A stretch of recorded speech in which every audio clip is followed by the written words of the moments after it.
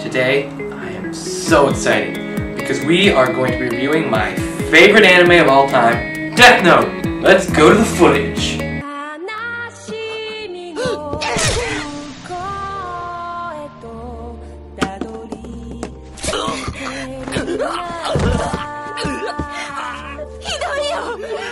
Ah!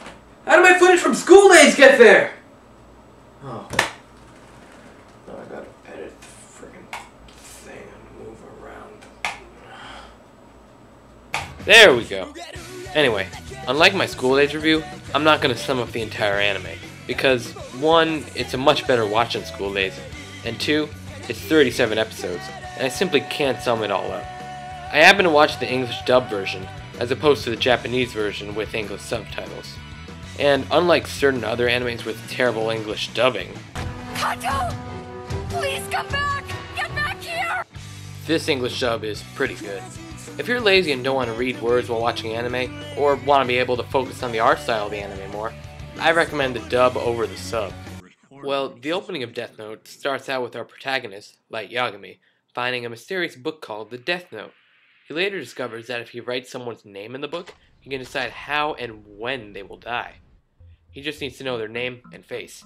He also has a Shinigami, aka God of Death, follow him around and explain the rules of Death Note to him. After meeting the Shinigami, whose name is Ryuk, Light decides to use the Death Note to rid the world of all criminals by hacking into his father's laptop.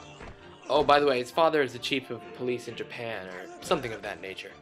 Now, one thing that I really love about this anime is the viewer really has a choice of whether they want to watch it, rooting for Light to get caught by the police, or whether they want him to prevail and kill everyone and create a better world without any crime. But ultimately, this matchup or conflict, if you will, is a little bit uninteresting. Light Yagami and his magic book versus the police.